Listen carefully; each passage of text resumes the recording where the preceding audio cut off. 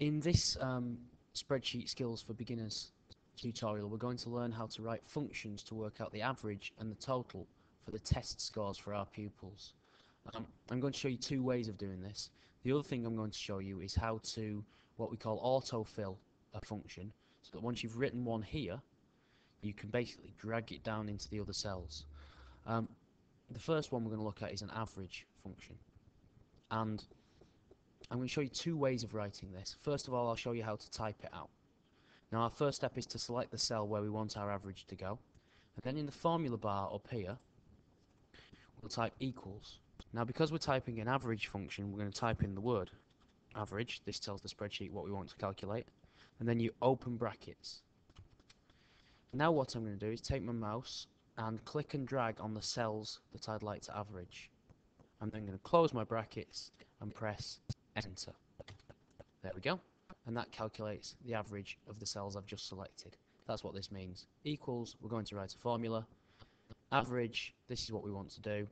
Brackets E2 to G2, these are the cells that we'd like you to look in and take an average of.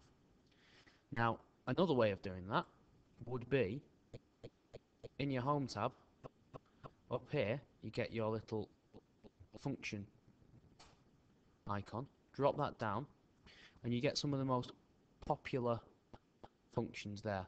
If you if the one you're looking for isn't in there, you can always click more functions. But average is quite popular, so I'm going to click that, and it assumes that I want to create an average of cell H2. It's wrong in this case, so what I'm going to do is click and drag to show it where I do want my average, calculating from. Once again, let go of my mouse and press the enter key, and that'll give me an average there. Now, you could go on writing those averages all the way down, depends how many pupils you've got. Or, I'll just get rid of this one. This average is taken from cells E2 to G2.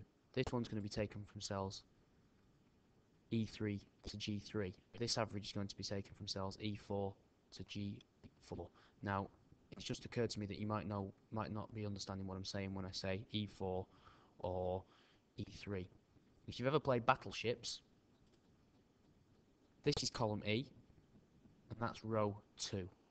So this cell is cell E2. This one is cell F2, and so on. That's what we call a cell reference. Um, now I've written this average function here, E2 to G2. This one's going to be E3 to G3, E4 to G4, E5 to G5, and so on. Um, if you've got a pattern like that, what you can do, once you've got your first function in, is hold is hover your mouse over the bottom right hand corner of the cell so you get this little black cross and drag click and drag down. This is what we call autofill. So it will now calculate an average and it'll alter that formula as it autofills it down to apply to each row. Now you'll notice here these are a bit untidy because we've got recurring decimals. So what I'm going to do is highlight all that column and up here I'm going to reduce the decimal. If it's going to be eight, take ages because it's a recurring decimal, what you can do then is change the format here to number and it automatically defaults to two decimal places. If you're still not happy, right click, format cells, and you can choose number and here you can alter the number of decimal places. Now, this is the this is the method I use if you're using an earlier version of PowerPoint because it's not as immediately obvious at the top in the Home tab um, what to do. So if you're using an earlier version of PowerPoint, I would just right-click and use the Format Cells menu. There you go. Now our next step is to put in a total for the total marks for the three tests. This in the average function we used an average. This time the function we're going to use is called a sum.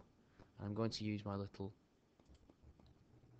function icon up here, sum, and it'll assume I want to use these four. Now I obviously don't want to include the average, so I'm just going to highlight cells E2 to G2 again and press enter. And that'll just add them up for you. Once again you can practice auto-filling. There we go. So that's how to write average functions and sum functions. To calculate an average or to add things up. Have a go.